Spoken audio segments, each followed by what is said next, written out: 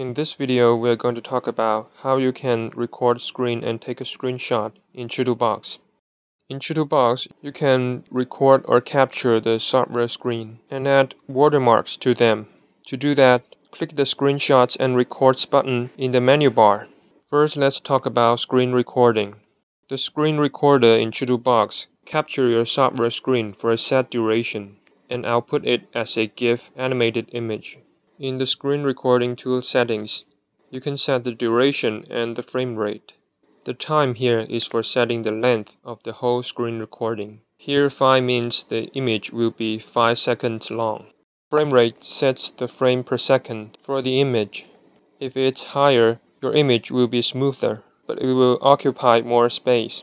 Then you can click the start button or press the Ctrl and F1 keys on your keyboard to start the recording. Here we do some simple editing for the models. When the time is up, you can save this GIF to the location you want. Then you can open that folder to view the recording. Next, let's talk about how to take a screenshot. Click the capture option and click start or on your keyboard, press the Ctrl, Shift and A keys to start screenshot. At the beginning, the software will give you a default capture area. You can click to take a screenshot of that area. But if you don't like it, click and drag your mouse to select a new area. You can also adjust the size and position of the selected area.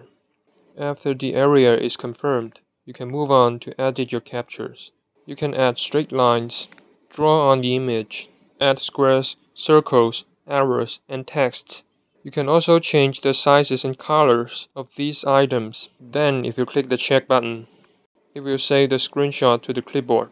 You can paste it to a third-party image editor to do further editing or saving. If you click the cancel button, it will exit the screenshot without saving. If you click the save button, you can choose a right place to save this screenshot. Finally, let's talk about watermarks. Screenshots and recordings in Chitubox have watermarks added by default. To do that, click the watermark option. There are three rows in the watermark settings you can edit. Date, author, and other remarks. You can decide whether to show or hide any of these rows and how to edit their contents.